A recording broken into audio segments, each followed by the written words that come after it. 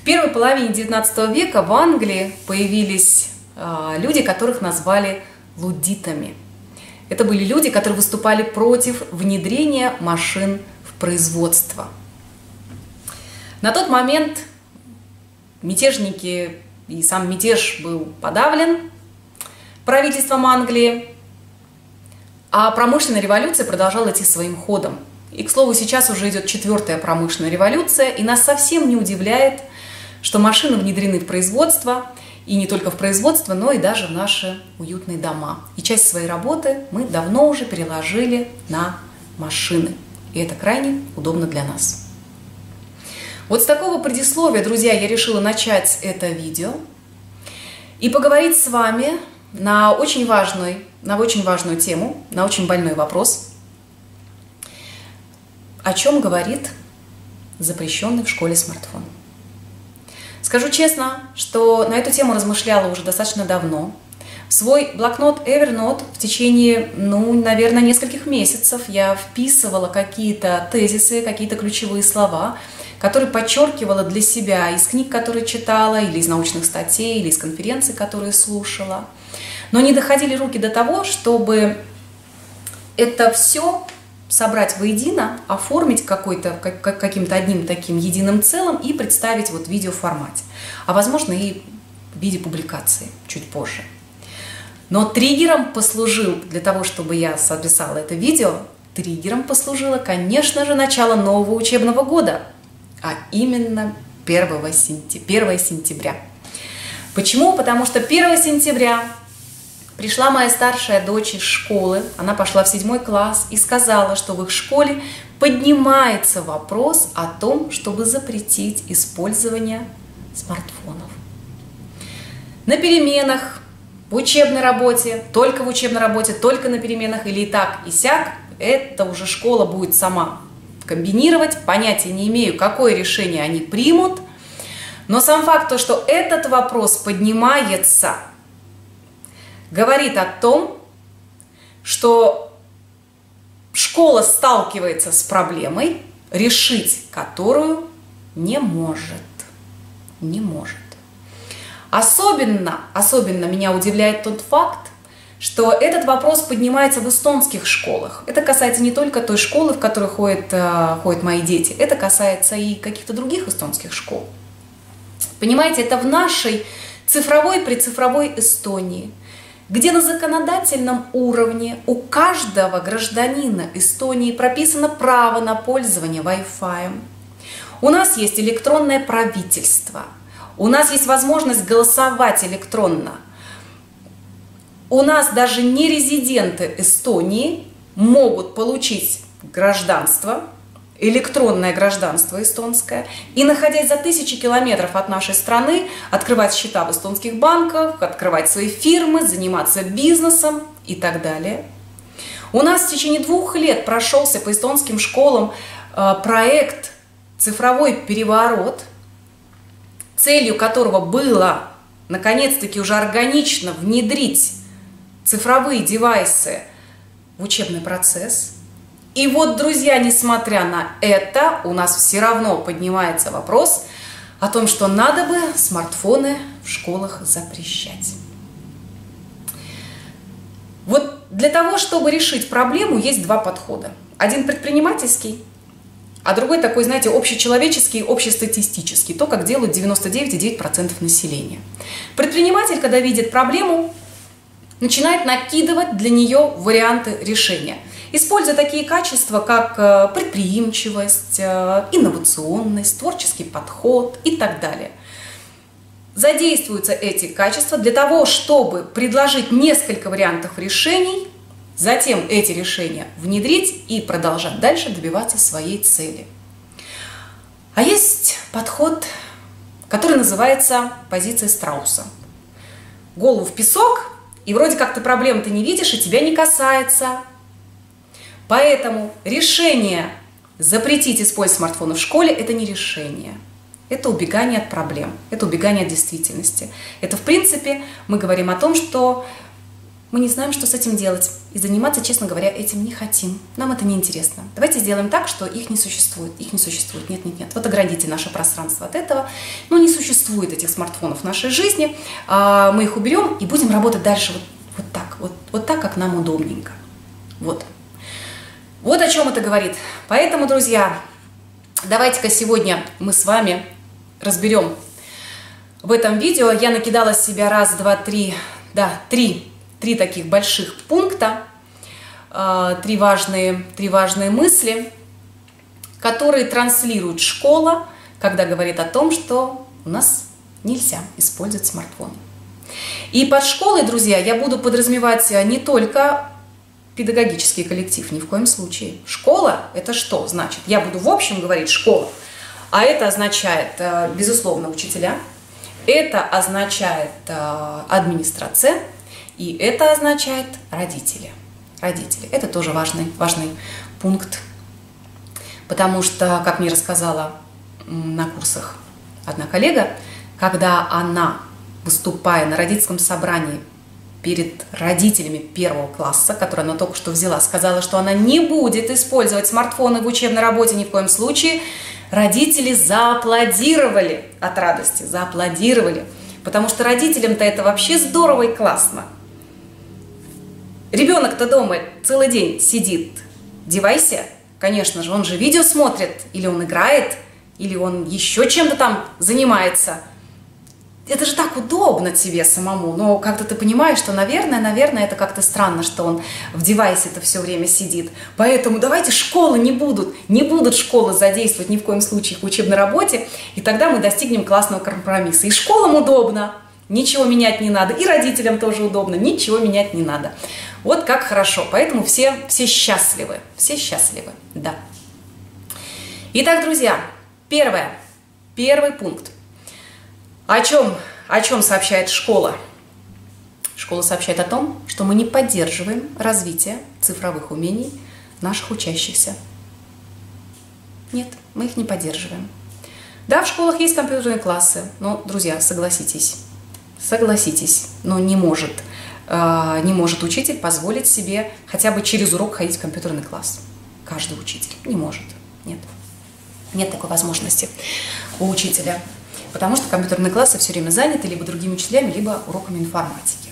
Вот. Остается только один выход – задействовать смартфоны учеников, а они запрещены. Значит, не поддерживается. Вот что включает в себя этот пункт? Посмотрите. Первое. А, наш ученик не просто не задействует приложения какие-то, которые полезны для учебной работы, для тайм-менеджмента, допустим, он не только не задействует эти приложения, он еще и не овладевает новым способом действия. Он просто не знает, что можно работать по-другому. А далее, такой важный пункт, как цифровое гражданство, сопровождение ученика в сети, сетевая культура – поведение в сетевом пространстве, безопасность. Безопасность как моя личная, персональная, так и безопасность того девайса, с которого я выхожу в интернет. Мы не занимаемся этим. А, третье. Наши ученики, вот эти цифровые аборигены, они не, не умеют использовать смартфоны для когнитивной деятельности, не умеют их использовать.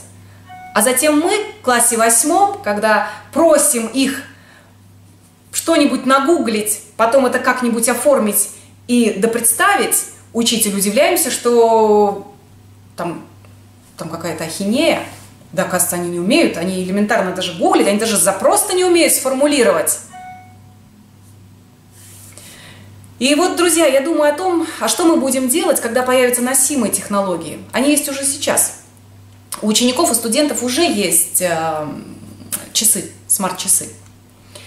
А что мы будем делать, когда появятся очки, линзы, одежда подключена будет э, к различным датчикам, к интернету, любой электронный девайс будет с выходом в интернет. Мы что запретим в этом случае тогда, хотела бы я знать? Может быть, уже сейчас все-таки начать думать и предпринимать какие-то рациональные ходы для того, чтобы решить эту проблему. Это был первый пункт. Второй. И вот, кстати, вот э, я подумала, что вот для того, чтобы Э, справиться с этим препятствием, я даже не буду называть это проблемой, вот э, школе нужно принимать смарт-решения. Смарт-решения должны быть, а не, а не те решения, которые нам приходят в голову сразу в первую очередь. Это должны быть смарт-решения. Откуда здесь из меня полетело что-то которые мы должны принимать. Но мы, по всей видимости, на это не очень способны, на смарт-решения. Второй пункт, друзья. Второй пункт.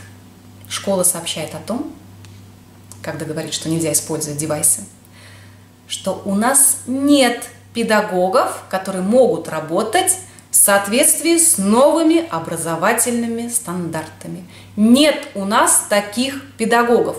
У нас нет учителей, которые умеют организовывать работу по инновационным учебным сценариям или инновационным образом. Таким образом, куда эти смартфоны впишутся органично и мешать никому не будут. Нет у нас таких педагогов. Может быть, есть один или два в лучшем случае учителя, которые работают и другим способом выстраивают, другим способом организуют учебную работу, и у них смартфоны э, не являются тем предметом, который мешает. Всем остальным он мешает. А почему? Потому что работа выстроена традиционным образом. Сядь и слушай. Смартфон мешает что? Смартфон мешает слушать. Потому что ты не слышишь ты не слушаешь, ты не слышишь, соответственно, пропускаешь какую-то информацию, значит, ты и не учишься, потому что в это время ты сидишь в своем смартфоне, занимаешься чем-то. Вот. И вот как уйти вот от этого сценария, когда из урока урок нужно слушать, слушать, слушать, ну вот это прям прям какой-то больной, больной прям вопрос вообще в нашей школе, потому что считается, что только через слушание вообще можно достигнуть какого-то результата. Прям вот это 80%, наверное, учебной, учебной нашей работы, учебной деятельности занимает вот это слушание. Я, кстати, к слову скажу, например, про себя, что для меня, например, э, приходить на учебный урок, и это было даже в этом, в университете на лекции, и э, слушать преподавателя, это просто выкинутое время – просто выкинутое время, потому что все, чего я добивалась, я это делала всегда за счет собственной самостоятельной работы. Не умею я э, воспринимать вот ту информацию, особенно если она новая, эта информация, непонятная для меня информация, совершенно я не разбираюсь в этой теме напрочь, и тебе что-то объясняют, я не умею параллельно мыслить с преподавателем, вот тут же схватывать на ходу и тут же задавать, например, вопрос, если я что-то поняла. Нет у меня такой э, способности. Я все это достигаю сама. Вот я сама изучаю, э, сама решаю, сама делаю, сама сталкиваюсь с заданием, с вопросом, с проблемой. Не могу решить, прихожу и задаю вопрос.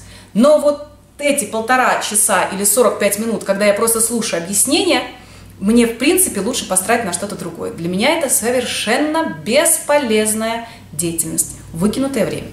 И я подозреваю, что таких, как я, у нас в школах достаточно, я подозреваю. Мне нужен совершенно другой способ э, учи, организации учебной работы, совсем другой. Итак, ну это к слову, это к слову. А, далее, что еще, что еще мы заявляем, говоря о том, что у нас смартфоны запрещены. Мы, честно говоря, признаемся в том, друзья, что у наших учителей очень низкая КТ-компетентность. Не владеют наши педагоги цифровыми технологиями не владеют.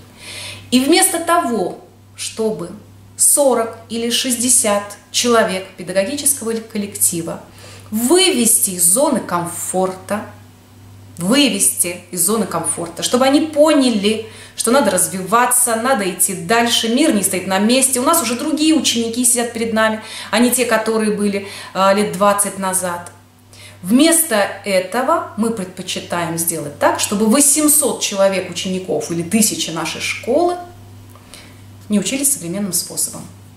Лучше мы сделаем так. Вот. Оставим лучше таким образом. Запретим эти смартфончики. Вот о чем это говорит, честно говоря.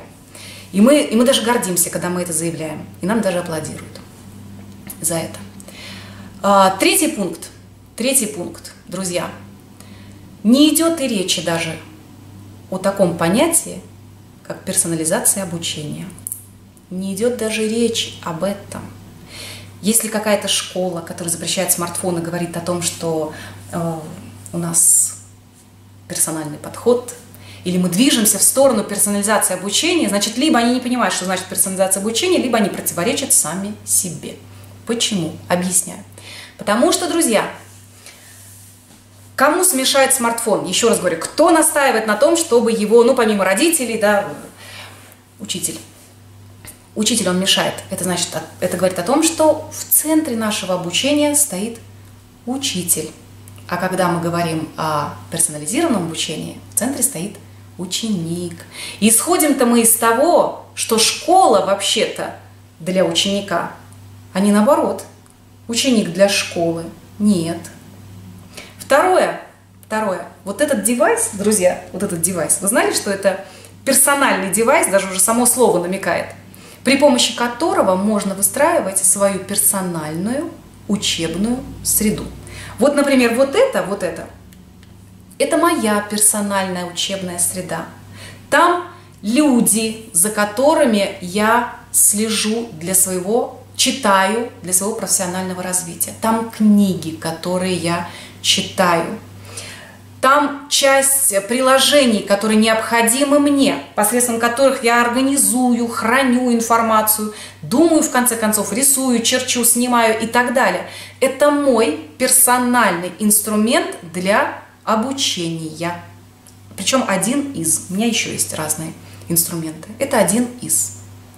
Мы говорим о том, что их использовать в работе нельзя, то есть у ученика нет шансов выстроить свою персональную учебную среду обучения. Нет у него таких шансов. И мы об этом открыто заявляем. Далее. Мы не поддерживаем развитие ответственности у наших учащихся. Этот пункт, наверное, вот вытекает вот из предыдущего, который я сказала. Дело в том, что э, личный девайс – личный контроль. Он предполагает мой личный контроль над этим девайсом. А мы же пытаемся этот контроль перехватить. Мы пытаемся контролировать ситуацию. А личный контроль – это личная ответственность. Соответственно, э, не мой контроль, не моя ответственность. И мы так много говорим про то, что ученик должен взять ответственность за свое обучение – а, и ничего для этого не делаем, потому что вот оно скрывается в таких вот мелочах. Вот, вот мы не знаем, что у него здесь установлено, мы не знаем, он сейчас тест делает или сообщение маме отправляет. И, честно говоря, не должны знать, по большому счету, потому что это его девайс, его контроль, его ответственность. Вот она таким образом постепенно и развивается. И этому нужно содействовать, а не препятствовать. И следующий момент. Не учитывается персональный стиль учебной работы. Это, ну, это необходимое условие для персонализации обучения. Не учитывается. Вот как я, например, я сказала, мне не подходит вот эта вот фронтальная работа. Да, лично мне. Вот у меня другой учебный стиль. Я по-другому учусь абсолютно.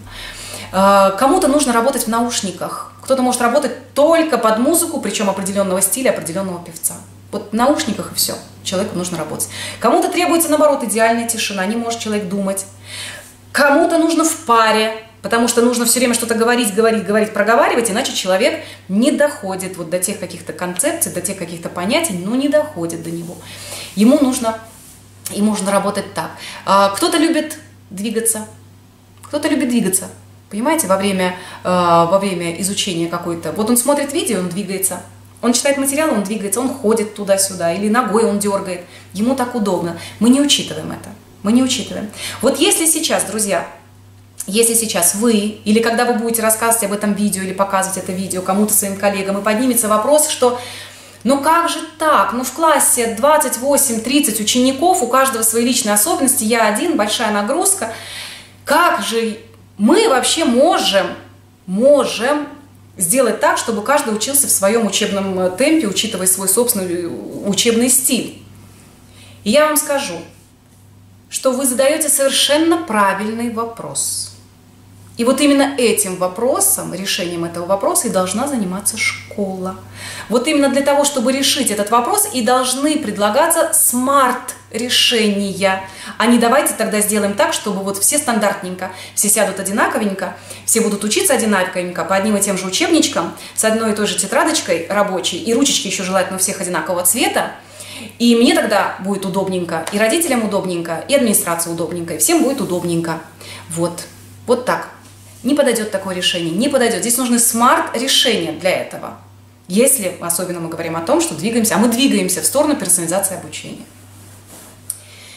И вот еще, друзья, один момент, который здесь хотел сказать. Я не отнесла его к отдельным пунктам.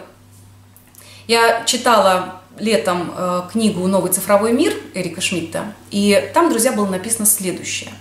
Там, друзья, было написано следующее. Я прям даже зачитаю, у меня здесь э, приведена цитата откуда. Там было написано, что э, в ближайшем будущем для того, чтобы защитить тайну частной жизни, могут быть предприняты определенные законы, а именно кража мобильного телефона будет приравнена к похищению персональных данных, а онлайн-вторжение станет наказываться так же, как взлом и незаконное проникновение в помещение. Вот в связи с этим, друзья, у нас нет такого закона сейчас. Я не знаю, в какой он мере, в каком формате он будет принят, но это просто вообще хорошая, хорошая такая предпосылка для того, чтобы задуматься о том, а стоит ли вообще вот забирать у учеников вот эти персональные девайсы для того, чтобы складывать куда-то в один ящик, в одни какие-то кармашки, я не знаю. И тем самым, тем самым, честно говоря, вот почему я сказала, что в начале видео, что, возможно, мы просто не знаем, что, что это из себя вообще-то представляет. Тем самым, друзья, мы немножечко посягаемся на чужое движимое имущество – мы немножко даже нарушаем вообще личные, личные границы другого человека, нашего ученика. И я бы не вводила бы ни в коем случае вот себе такую привычку, как учителю, что ученика можно вообще что-то вот такое забрать. Если мешает, это проблема, которую нужно превратить в задачу. Ее нужно каким-то образом решить. Но забирать – это не решение. Ни в коем случае не решение. Вот об этом тоже стоит э, нам немножечко задуматься, друзья, потому что, потому что вот это что? Это мои персональные данные. Вот этот телефон хранит мои персональные данные.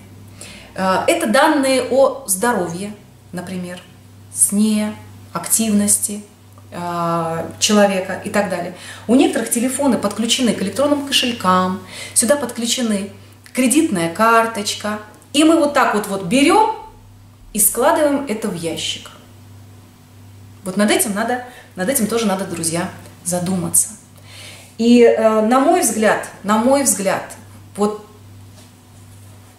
тем, что мы, вот исходя из тех пунктов, что я перечислила, и тем, что мы говорим, что смартфоны в школе запрещено использовать, мы в принципе говорим открыто о том, что мы ужасно отстаем от времени, друзья. Вот смотрите на нас, вот наша школа конкретно какая-то, мы отстаем от времени. Ну так сильно отстаем, но не успеваем мы бежать за этим временем. И вы теперь об этом знаете, потому что мы всем об этом сообщили. Вот, в общем, о чем говорит эта школа. Я считаю, что, друзья, вместо борьбы надо думать о содействии. Именно об этом. Вот. Вот такой важный, возможно, для кого-то и больной вопрос, друзья, я сегодня подняла. Об этом нужно думать. А, этот вопрос надо решать. И, как я уже сказала несколько раз, запрет ни в коем случае не решение. Все. Всего вам хорошего и до новых встреч. И, кстати, если вы еще не подписаны на мой YouTube канал, рекомендую подписаться. Пока.